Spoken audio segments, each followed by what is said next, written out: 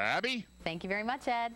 Well, Dan Thompson, our favorite tech expert from Claris Networks, joins us this morning to talk about not only some of his favorite apps for 2012, which we're going to get to, but also to talk about this whole tablet camera situation. Yep. Over the holidays, I called you and I said, I just want a tablet that I can plug my SIM card, or not my SIM card, my um, Memory card. Thank you.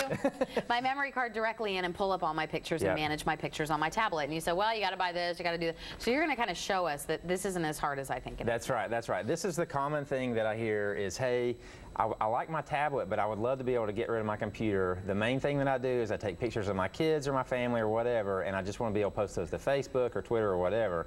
Uh, and it's a little bit more complicated than you would think unless you have the camera connectivity kit. So um, what the camera connectivity kit is, um, is you get these little doodads um, that basically allow you to plug your camera straight into the iPad or the memory card from your camera straight into your iPad.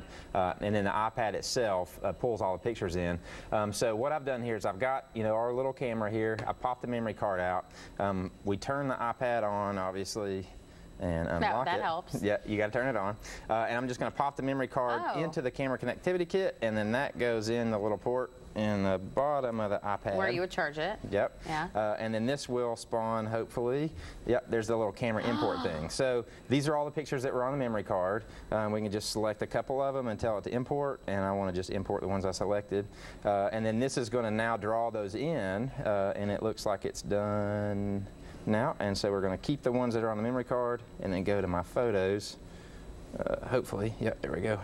And then this is the one that I just imported. So this is a picture from uh, Reykjavik in Iceland that my wife and I went to on vacation. Let's show And, your uh, world travels. That's right, that's you guys right. are world travelers. Um, so this is a picture, you know, right off the camera, and you saw how just quick and easy that was. So now that it's on the iPad, you know, possibilities are limitless. I can post it to Facebook, I can email it to friends and family if I want to, um, and then it kind of simplifies that whole process. Now you don't need a computer, and you don't have to do things like transfer it to iTunes and then drag it down to your iPad or whatever. What about things like the Kindle Fire or the Nook or the Nook tablet or any of these other tablets that are out there? Do they have similar devices that will do this? They don't actually. So the one the one tablet that does have the port built into it, which is the Xoom, uh, the Motorola Xoom, uh, it's a little bit difficult to get all this to work because they still haven't got all the code base worked out. So today, the easiest device to do this on is the iPad, uh, and it's with the connect, camera connectivity kit. It's only thirty dollars, so it's not you know outrageously expensive to get. Uh, and then you're up and running, and you can do all this fun stuff with pictures.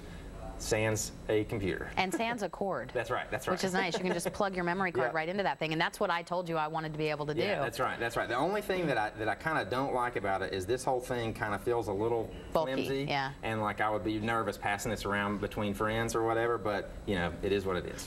And you are an iPad owner. I have to point that That's out. right. That's right. okay, let's talk about some of the top apps for 2012. Give me your top three. Yeah, that's right. Okay, so number one, uh, lots of people coming into the new year that have weight loss goals. Uh, so MyFitnessPal uh, is an awesome app. It helps you track your calories. It gives some accountability there. It also uh, helps you track your exercise and things like that. Uh, it gives you targets for calories so that you can kind of plan your day better. Uh, and it's a great resource. Uh, I lost about 25 pounds last year just using that app. Really? Yeah, yeah, and it works great. And the, the neat thing that it did for me is it kind of reminded me, hey, if I eat this chocolate bar, Yeah. it's going to push me way over my calories. I'm not gonna be able to eat dinner, yeah. That's right, that's right. And you know, the old adage is still true, Yeah. calories in minus calories out. That's like how much weight you gain, right? Yeah. So, um, so that's the number one app. Uh, number two apps, you know, things like, um, you know, Evernote to keep notes on. Um, I found a new app the other day. It's called Remember the Milk.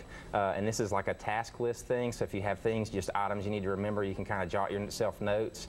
Um, those are two fun little productivity apps. Uh, and then, of course, a great one from last year that can kind of is filtering over to this year is Spotify. Uh, so the Spotify app, it lets you play MP3s and music and stuff like that while you're on the road. It's a subscription service, so you pay 10 bucks a month. It's limitless. I mean, pick a song, any song off the top of your head, it's probably on there. Uh, you can load it to your phone, plug it into your car, and you're good to go. That's nice. Yeah, it's awesome. So the technology fair going on in Las Vegas, and Yeah. they're talking about how your phone's going to tell you, no, your refrigerator is going to be able to tell you when you're low on milk. Yeah, yeah. I mean, is that well? crazy? You know, what's funny is they've been talking about this this uh, kind of smart refrigerator for years now. Uh, I have actually seen one, you know, on the floor, but you know, so outrageously expensive, nobody's going to Yeah. buy it. But uh, you know, they keep saying that's coming, so we'll have to keep our eye out. I think I can tell when my milk's getting low. Just know, I don't say that. refrigerator to tell when it's out and I'm dumping it in my cereal. That's right, that's right. Dan, thanks for being with us. We Thank you. appreciate it. Good demo there, too. Thanks a lot. That was my big question, and you answered it live on air. All right, we've got much more to come at 7.50. We'll be right back.